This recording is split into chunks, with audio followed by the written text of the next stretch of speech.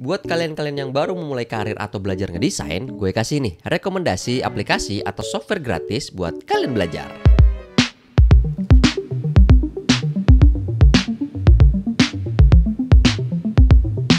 Hey guys, selamat datang di Killer bersama saya, Kemal. Kalau kalian baru mau coba-coba apakah ngedesain adalah jalan ninjaku? Tentunya salah satu yang kepikiran yaitu pakai software apa ya? Nah, kalau kalian nge-googling pasti kalian akan pilih yang terbaik nih. Kalau aku ingin jadi yang terbaik, aku harus menggunakan software yang terbaik. Tapi pas dilihat, loh kok bayarnya mahal ya? Mana bulanan lagi? Uang dari mana nih? Nah, kalau pertama-tama aja udah bayar sejutaan, ternyata nggak cocok, kan repot juga ya. Mending cari yang gratisan aja dulu. Kalau nggak cocok juga nggak rugi-rugi banget. Lalu ada nggak ya software yang gratis tapi bagus? Ada dong, makanya kita buat video ini.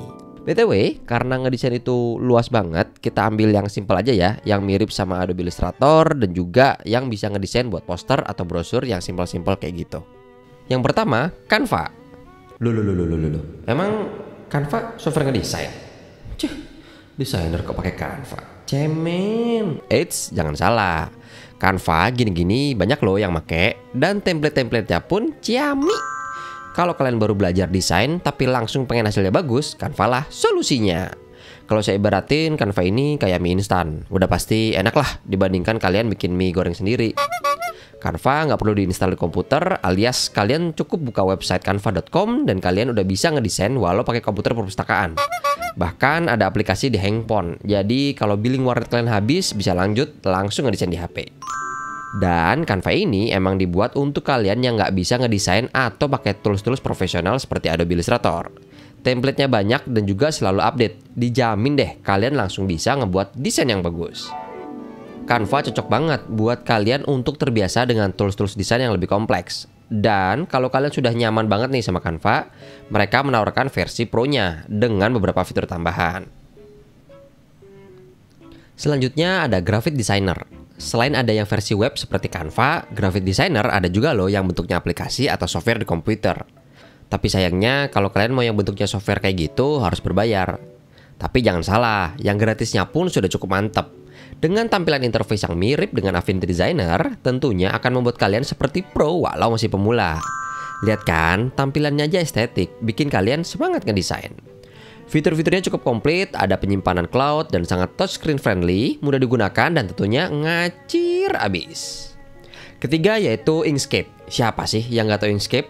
Udah dari lama Inkscape dikenal sebagai tools alternatif dari Adobe Illustrator. Sebelum ada Affinity ya. Saya pribadi tahu Inkscape itu pas di warnet yang pakai Linux, yang tampilannya masih kayak Microsoft Word sampai sekarang udah kayak Corel Draw. Inkscape yang sekarang udah jauh-jauh lebih bagus dan enak banget dipakai daripada versi sebelum-sebelumnya. Dan makin ke sini makin banyak yang make. Dan karena banyak yang make, maka makin banyak pula tutorial yang tersedia buat kalian yang pengen belajar Inkscape. Contohnya channel YouTube Abu Zaid Tutorial ini. Ayo dicek. Selain gratis, Inkscape ini juga open source alias semua orang bisa memodifikasi sesuai kebutuhannya. Dan semua orang dapat berkontribusi untuk mengembangkan Inkscape ini. Yang artinya di kemudian hari Inkscape akan jadi salah satu tools yang menjanjikan. Kalau kalian pengen belajar tools yang mirip-mirip dengan tools profesional, ya pakai Inkscape. Yang terakhir ini nih, yang baru aja rilis, masih hangat dari oven dan masih dalam tahap pengembangan juga sepertinya, yaitu Creative Cloud Express. Ini dulu namanya Adobe Spark kalau yang masih ingat, yang secara posisi sebenarnya buat nyanyiin Canva tapi nggak begitu terkenal gitu loh. Creative Cloud Express ini berbasis cloud, artinya kalian nggak perlu nginstal lagi buat pakai tools ini, persis banget kayak Canva kan? Dan tools ini didevelop oleh perusahaan yang ngebuat Adobe Illustrator. Mantep kan? Walaupun secara tampilan mirip banget ya kayak yang Canva.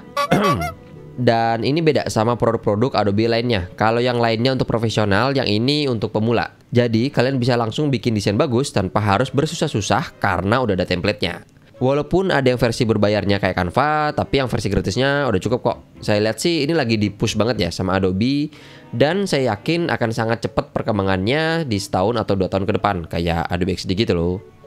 Jadi itu beberapa tools gratis buat kamu yang sedang mencari jalan ninjanya di dunia desain. Semoga dari tools-tools yang gratis itu kalian bisa menghasilkan dan bisa membeli atau berlangganan tools yang berbayar yang tentunya lebih profesional dan menunjang kerja teman-teman.